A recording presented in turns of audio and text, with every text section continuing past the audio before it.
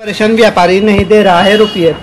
व्यापारी इन केले की फ़सल का सौदा किया था और बाकी रुपये देने से इनकार कर रहा था व्यापारी।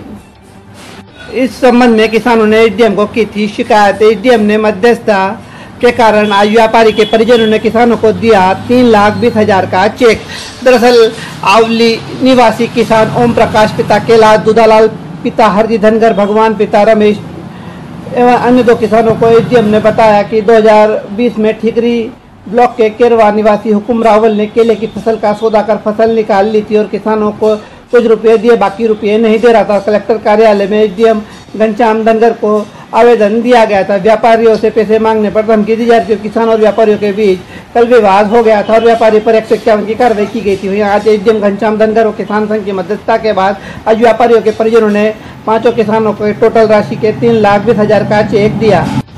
वही किसानों ने एसडीएम को दिया धन्यवाद। कुछ चार पाँच किसानों के द्वारा कल कार्यालय में आके शिकायत की गई थी कि पिछले लॉकडाउन में उनके द्वारा केले की फ़सल ठिकरी के एक व्यापारी को बेची गई थी, जिसका भुगतान आज तक नहीं किया गया था।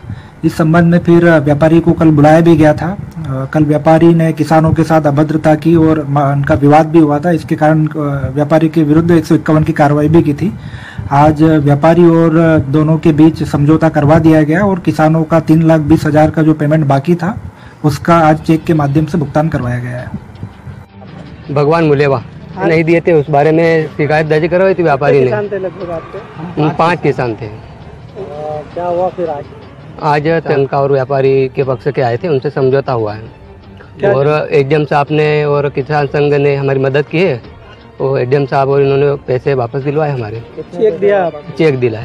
आरपी टीवी न्यूज़ की खबरें पाने के लिए लाल कलर का सब्सक्राइब बटन दबाइए, साथ ही नोटिफिकेशन के लिए बेल आइकॉन दबाइए, और साथ ही आरपी टीवी की न्यूज़ की खबरों को लाइक कीजिए शेयर कीजिए और सब्सक्राइब कीजिए।